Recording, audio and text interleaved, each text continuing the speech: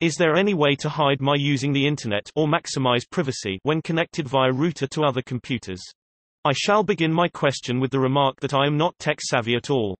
The problem is the following. A cluster of computers laptops, desktops, etc. A, B, C, D, are all connected to the same router.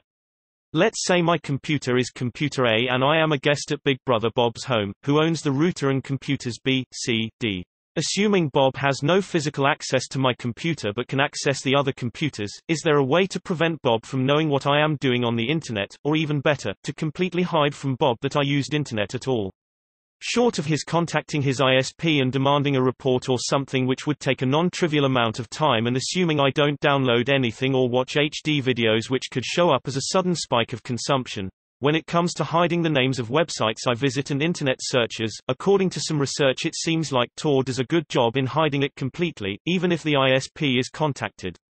However, can Bob determine quickly i.e. without contacting his ISP, using some CMD dark arts that computer A has connected to a Tor node at all without physically accessing computer A?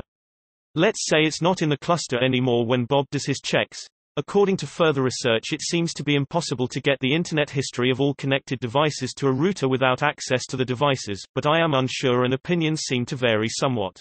TLDR I'm basically looking for a way to make my Internet usage as inconspicuous as possible during a very specific time period when indirectly connected to other computers via a router I don't own. Is using Tor the best thing I can do in this situation to maximize privacy? Thank you. Let's take this from Tor backward. Yes using Tor is likely going to maximize your privacy and anonymity. That said, Tor comes with usability issues that may not be worth the pain for your needs.